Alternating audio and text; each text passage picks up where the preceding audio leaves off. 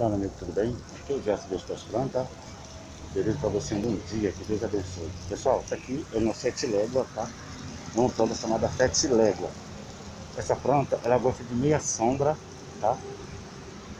A terra tem que estar bem fofa para que ela se desenvolva muito bem. Essa planta, ela se multiplica através de estaquia ou também através das sementes. Isso aqui, ó, são as sementes dela, tá vendo? As sementes dela aqui ali, tá? Aqui são suas flores, tá vendo? Coisa linda e maravilhosa as flores dessa sete léguas, tá vendo? Olha que coisa mais linda, tá? Então tá aí a sete léguas.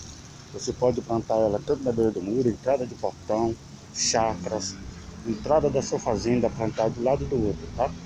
Ela se multiplica na estaquia, aquela estaquia mais grossa, é que ela se multiplica, tá? lembrando, pessoal, a planta, você não, você não tem que molhar só a raiz da planta. Você tem que dar um banho na planta, tá? Molha as suas plantas, mas é para molhar as folhagens, ok? Agora, se sua planta está dentro de casa, se não quer molhar o chão, compre um pulverizador, um borrifador e molhe a raiz e pulverize as folhas da planta, tá? Porque ali acumula muito pó e muitas vezes atrapalha o, desenvolvimento da planta, ok? Então você fazendo isso, pulverizando a sua planta, ela vai ficar bonita e maravilhosa, ok? Portanto, aqui são os cachos, são da sete léguas, que coisa linda.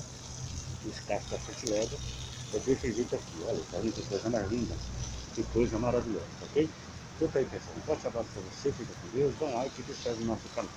Que Deus abençoe. Planta sete léguas.